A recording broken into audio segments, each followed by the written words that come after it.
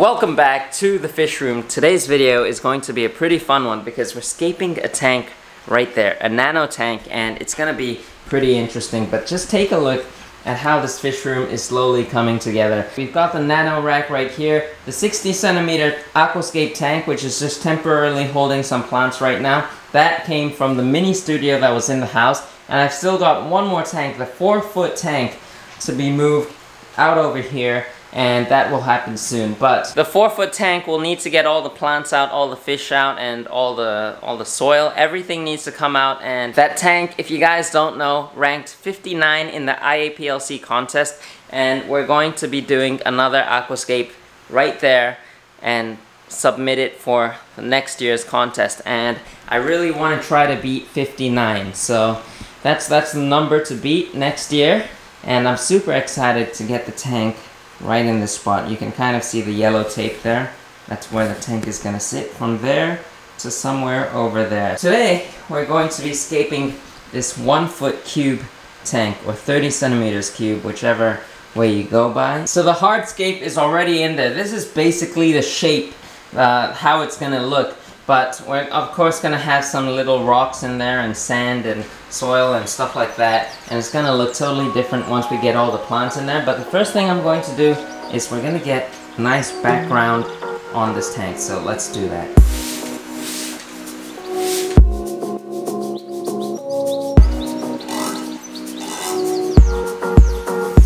Take a look at how good that looks with a white color background from now on, with all my aquascaping tanks, I'm going to go with white colored backgrounds because it just looks so much better, so much brighter as well, and it also creates a sense of depth. So if you go with a white background, it tells your eyes that there's, there's more space behind and it makes the tank feel deeper than it really is. Whereas if you go with a black colored background like what you see here, it kind of tells you that there's a wall there and you can't go further back. So with regular tanks like this, Black backgrounds are good enough. It's also less cleaning. You don't have to scrub the algae down all the time. But with white backgrounds, it, it just looks so good, especially with plants in it. Also, if you look at many of the tanks that professional aquascapers are scaping nowadays, or contest aquascapers, they use mostly white colored backgrounds, or bright colored backgrounds, or even the gradation type, the blue with the white, uh, kind of make it look like the sky. Those are beautiful, and I actually have one right here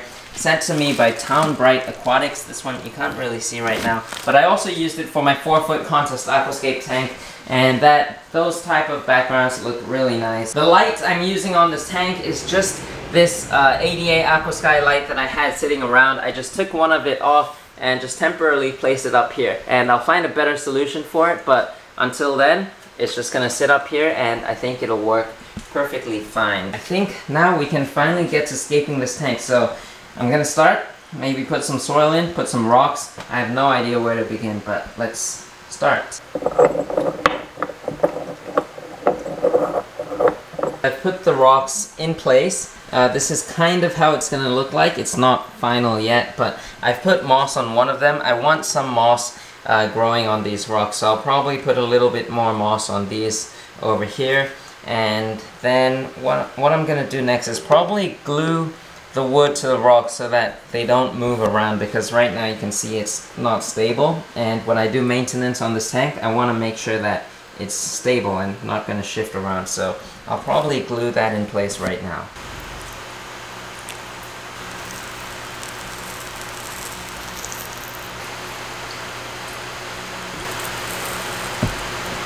Okay, so I've glued everything together. It's all one piece right now. This thing is not gonna go anywhere. It, it'll shake a little bit, but it's not gonna move. And that's gonna make maintenance a whole lot easier. And better is that the wood isn't touching the glass, so I'll have space to get my hands in there, get a scraper down there to wipe off all the algae. And that is, that's, that's looking really nice. So what I'm going to do next is I'm going to put some small sized lava rocks behind these rocks where you see these holes are. And I'm gonna try to cover these holes up because I don't want soil coming out in front because we're gonna have sand in the front. So we're gonna grab these lava rocks and just kind of backfill it. Kind of like that so you can cover most of the larger holes.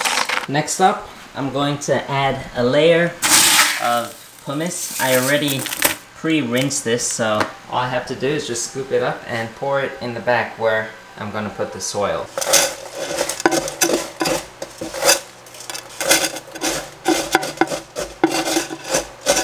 So I've got the pumice laid down. You can see it kind of slopes up towards the back because we want the soil to be higher in the back and kind of lower as it comes down to the front. Uh, so now we're gonna add soil and I'm just going to use some of my leftover Amazonia soil. It's super nutrient rich and the plants should really like it.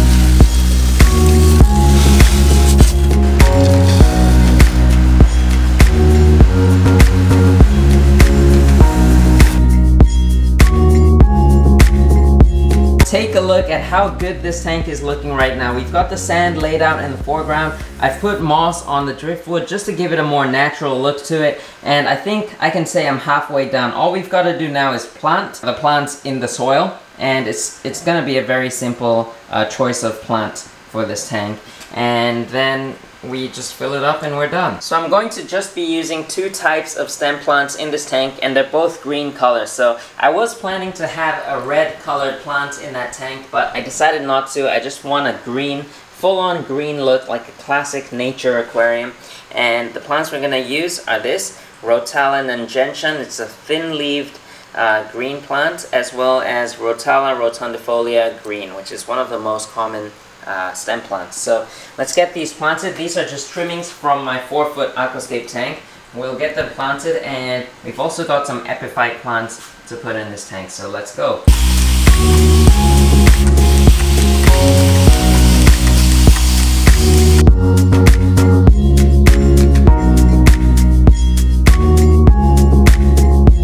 Alright, we are so close to getting this thing done. We just need a couple more plants to add in this tank. The first plant we need is a Microsorum trident or the trident java fern. I've got a few of that and we'll be adding one of that right in the center here. I think it'll be a nice centerpiece plant. And then we're gonna need a few cryptocorynes and the crypts are gonna go in here.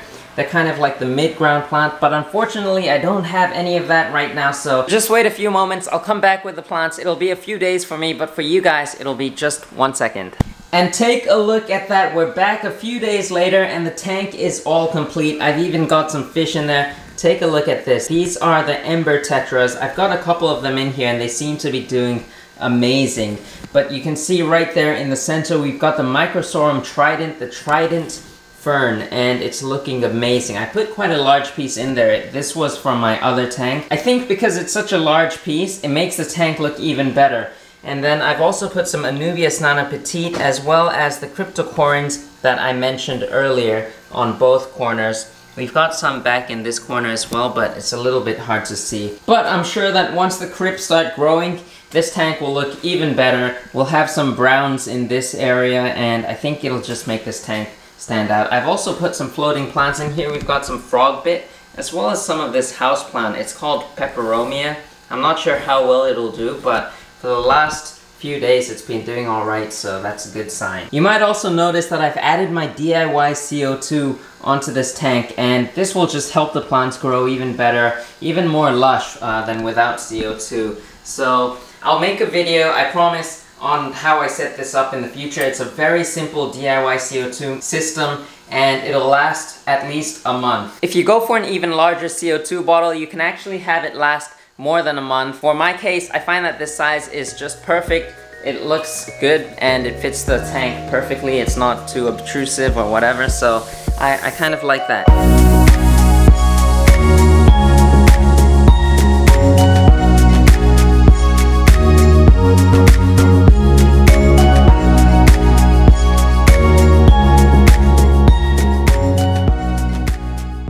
As always, I hope you enjoyed today's video. If you did, be sure to hit that thumbs up and then subscribe for more videos like this because we've got this entire fish room coming along. It's still not even close to completion, but I'm making videos one at a time and updates on everything that's going on. So be sure to subscribe and I'll see you guys next time.